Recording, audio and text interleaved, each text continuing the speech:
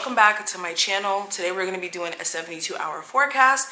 If you want to see the extended version of this reading make sure you check out the description box.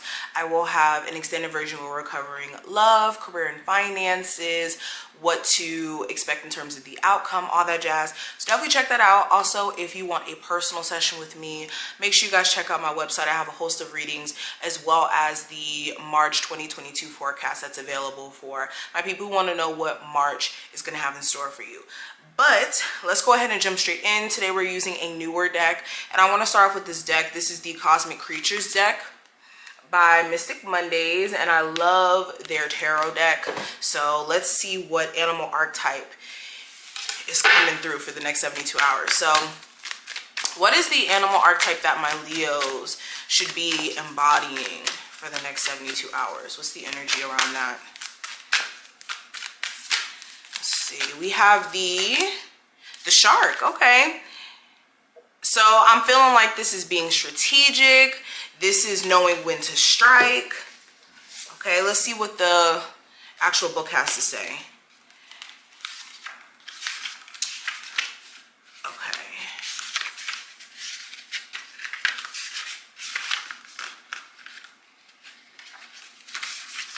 Oh, here it is. All right, so this is going to represent power, being a risk taker, and motion.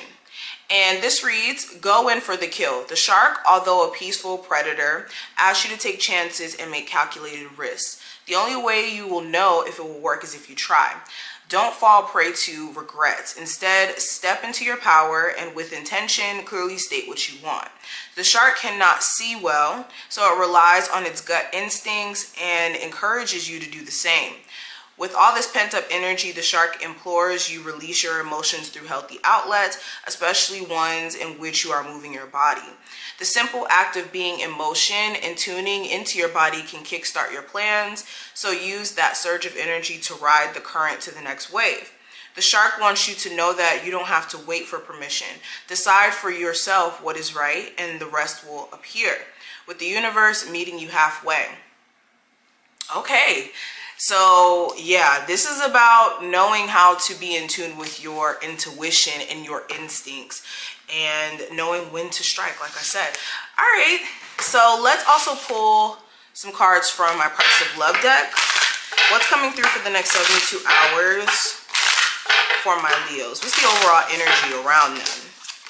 Okay, so we have passion and we have healing that came out.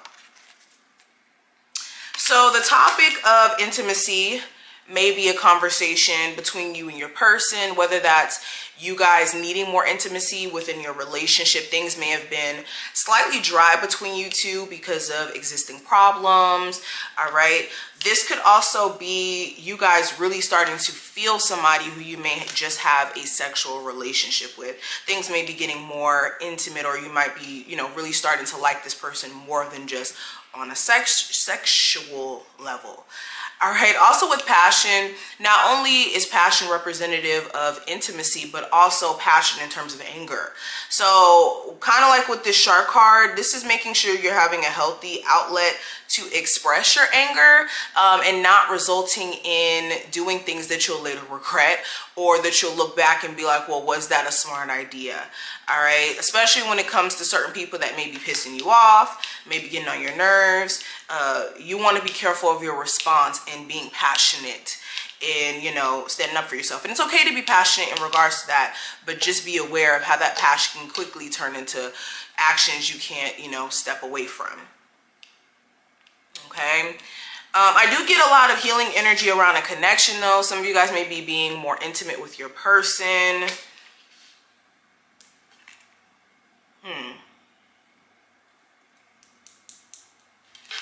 Going. I'm using the Antique Anatomy Tarot for anybody who wants to know. What's the energy surrounding my Leos for the next 72 hours? We have the Page of Elixirs. We have the Two of Swords.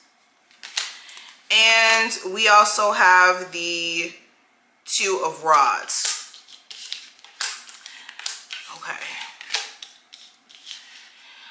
So, okay, I get this energy of somebody who is really emotionally immature. Like I said, really putting you in a tight space in terms of you having to figure out whether or not you're going to keep this individual around or not. If this is a romantic interest, this person's really trying it in terms of them not knowing what they want from you, in terms of if they want to be in a committed relationship or not, or within the relationship, they do things that's very immature like they don't know how to communicate there's somebody who's a really difficult person to get through to like you guys may not be on the same page at all and it's mainly because this person's being stubborn or stuck in their ways or not seeing how deeply you care about them. This person could be, you know, more so infatuated with you than seriously in love. And that could be a problem in terms of the balance, in terms of the emotions here. Uh, I also get, huh, I get this energy of somebody giving you mixed signals, somebody who may have been um, eager to go into business with you,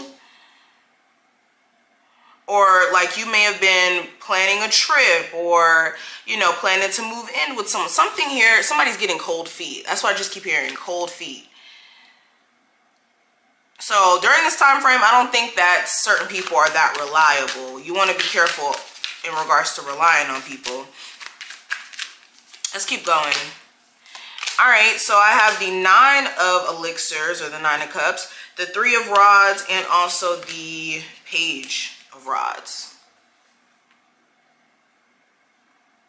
All right, so looking at this, this feels like also your deepest desire could be during this time frame for some of you to like move to a long distance location or relocate to like a different state, a different city. And there could be some sort of issues with that. Like your job could be giving you a hard time in terms of this relocation. Um, I also get... Somebody who you really like, somebody who you take an interest in, you could be looking at the long term in regards to this. You could be realizing that they're very, like I said, immature or they're too hot-headed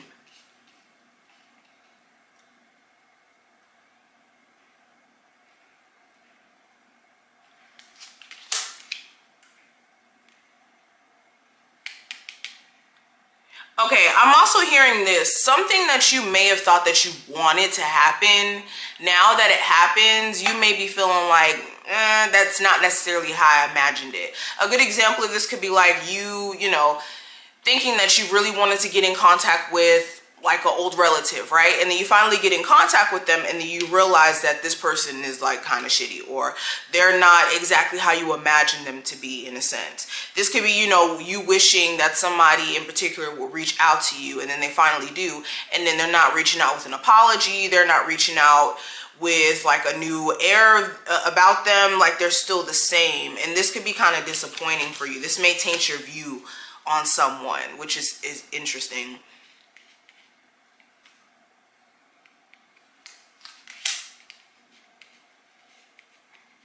Some of you guys may have to turn down some sort of liar here, somebody who's dishonest, somebody who can't be forthright in terms of who they're talking to on the side, what they want.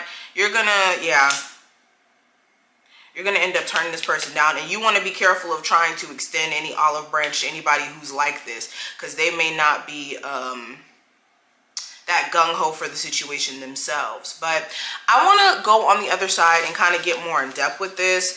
If you want to see the rest of this, definitely feel free to check out my Patreon. If you're already a Patreon member, the videos will be uploaded on Patreon right before this goes up. So check it out and I will see you on the other side.